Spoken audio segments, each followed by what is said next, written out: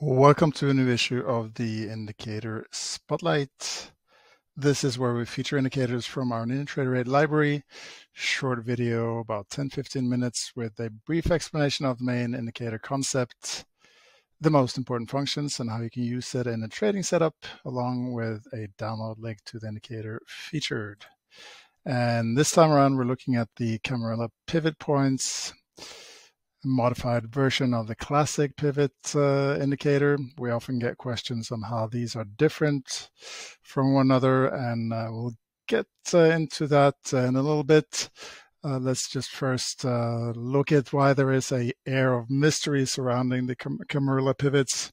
The most likely culprit, uh, I think, is the meaning behind the word. Camarilla originates from Spain and refers to a group of advisors to a king or a ruler.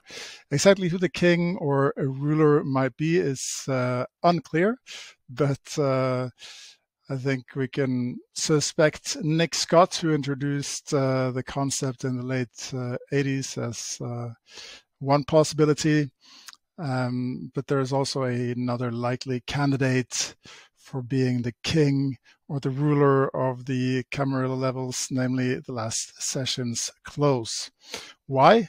Well, because in a nutshell, Camarilla levels are all based uh, on the last session's uh, range and the position of the close.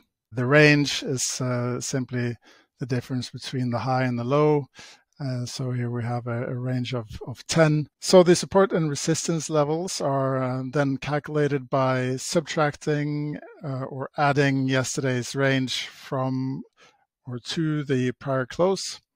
Uh, the formula applies a slightly expanded range. We see here factor of 1.1 and a sequence of numbers, namely 2, 4, 6, and 12 to determine how far removed from the close the levels are placed.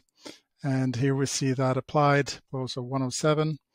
And so we see here that the most important levels, or the ones that are most significant in terms of relation to the range, is the fourth and the third support and resistance levels. These first and second levels are quite close to the main pivot. So to distinguish between range and directional setups, uh, we're looking to see if uh, the open lies uh, within or outside the third uh, supports or resistance levels.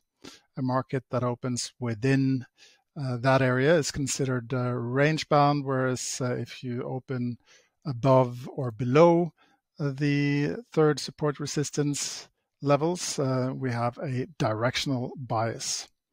And so that is also why we've added the uh, green and red plots here to highlight uh, the importance of the third support resistance levels. And um, we see also here the open increased the vis visibility by using a one minute uh, opening range for the regular session in a golden plot using the premium opening range indicator. So, in other words, other than Nick Scott and, and the close, a third possible ruler of the Camarilla points here uh, is uh, the open of the current session. So, as I mentioned, the market uh, that opens within the third uh, support resistance levels is considered range bound, and you can then consider reversal setups that intersect with the uh, uh, daily S3, S4, R3, and R4 levels. In this example, we have a five minute uh, chart for the NASDAQ uh, contract showing the regular open within uh, the third support resistance zone. And at the first uh, intersection with the third level, we had a short reversal opportunity identified by our auction bars indicator. And although this setup failed, another short reversal opportunity at the fourth level that went uh, all the way down to the um, fourth support level, at which point the bullish reversal setup was spotted. And uh, that bullish pattern would have been a good exit point for the short trade here. Or the long re-entry opportunity.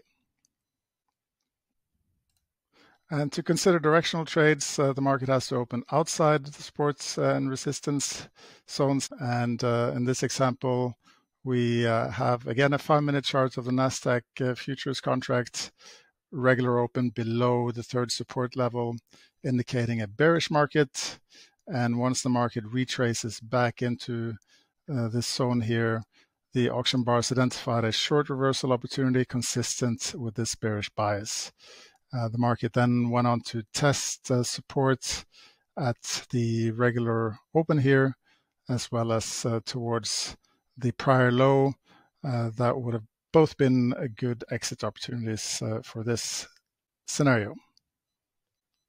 And here's an example from the uh, Euro futures contract. Again, five minute charts, regular open above the third resistance level, indicating a bullish bias.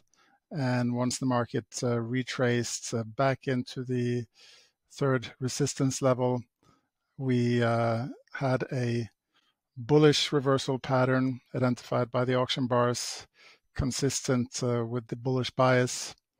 Um, and although both of these moves here fizzled out, uh, two profitable trades uh, would have still been made with proper trade management. And if you're interested to see how uh, you can set this up with uh, Bloodhound from Shark Indicators, I'll uh, do a follow up uh, on this video sometime next week, showing how to call the Camarilla support resistance levels as they intersect with signals from the auction bars indicator. And finally, the comparison to the classic uh, pivot levels. One major difference is the pivot uh, itself. For the traditional calculation, you have the high and the low and the close divided by three. And uh, that will then be the main pivot in addition to the pivot range. And uh, you'll have support and resistance levels above and below the main pivot also mainly based on the range, the distance between the first resistance and the first support level equals uh, yesterday's range, and also the second support and resistance level, the distance from the main pivot to those levels equal yesterday's range. So with that, we'll wrap up this indicator spotlight highlighting where to pick up your free download for the Camarilla Pivots Daily. That would be in the Session Tools category.